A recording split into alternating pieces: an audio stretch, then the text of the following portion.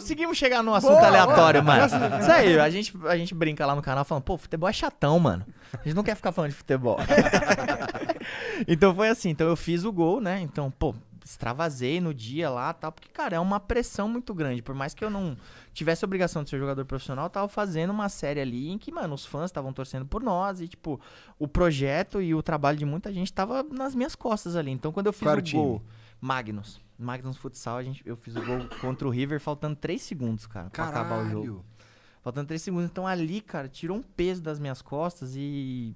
E, cara, foi o melhor dia da minha vida. Tenho, mano, tatuado aqui o, o cronômetro e tal. Então, mano, foi, foi sensacional.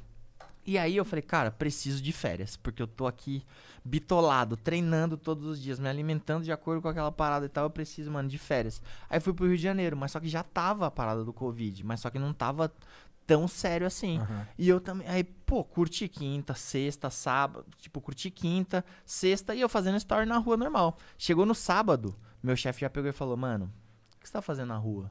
Falei, mano, tô curtindo minhas férias, me deixa. Você é meu chefe, mas eu tô curtindo minhas férias. Falou, não, mano, que tá rolando parada do Covid e tal, então, pô, se liga tal, fica ligeiro aí. Eu falei, vixe, mano, realmente tá acontecendo a parada que eu tinha, mano, virado as costas pra isso. Tanto que quando eu voltei do Rio de Janeiro, eu fiz um vídeo falando, mano, eu não sou um bom exemplo pro Covid, porque passou esse final de semana, as pessoas já estavam sendo infectadas e eu não tava nem aí, cara. E aí voltei do Rio de Janeiro, no dia 17 de, de, de março, e aí eu falei, cara, eu vou começar a ler sobre o Covid. Pra ver qual é que é, o que, mano, ali. Enchi a cabeça de informação tal, vi todos os noticiários e tudo mais. E falei, cara, realmente, o bicho tá pegando e a parada é muito séria. E eu, como comunicador, eu tenho que dar exemplo. E aí fiz um vídeo falando que eu não era um bom exemplo. eh, e a partir dali comecei a tomar as, as devidas medidas de, de segurança. E comecei a sentir os sintomas. Ih, Comecei a sentir, tipo, dor de cabeça, fraqueza, tal, não sei o que. Tipo, uns sintomas comuns de uma gripe. Gripe, é. Aí eu falei, vixe, mano. Aí senti o primeiro dia, senti no segundo dia, foi aumentando. Falei, cara. Aí já, já me afastei da minha mãe, né? Que minha mãe já, já tem um pouco mais de idade. Aí eu peguei e falei, mano, será que eu tô com essa porra, mano? Será que é porque eu li? Porque tem muito isso. Não sei se vocês já pa- passaram pela situação. Uma Você Uma teve com a pessoa, tipo, no É. dia anterior.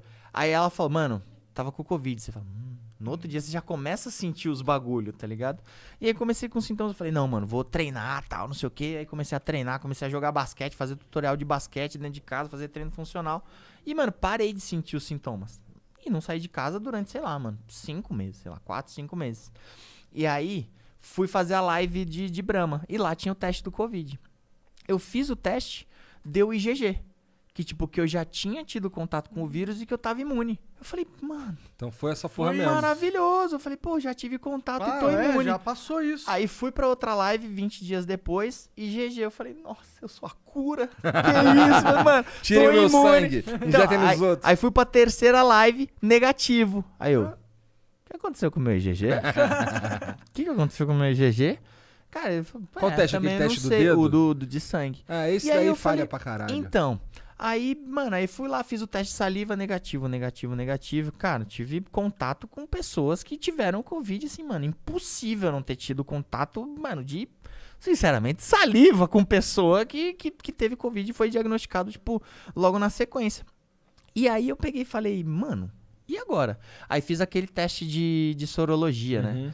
E aí não deu, tipo, que eu tive Não o. acusou. Não acusou nada. Tipo, não acusou Caralho. que eu, tive, que eu tô imune, tá ligado? Então, tô Que vivendo. no, porra. entendeu? Então, mano, foi é, me- é óbvio que a gente, assim, acredita nos profissionais da saúde, nas autoridades da saúde, mas realmente é um negócio que, por exemplo, se alguém puder me mandar um direct ou comentar aqui no vídeo, me explicar o que, que é esse meu caso, pô, eu agradeço, porque, mano, já falei com enfermeira, já falei com médico, já falei com Ah, especialista. tenho uma teoria. Ninguém consegue me explicar, velho.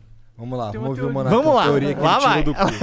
Não, não, é, pode ser que você tinha uma carga de é, co- co- Anticorpos. anticorpos muito Aham. forte.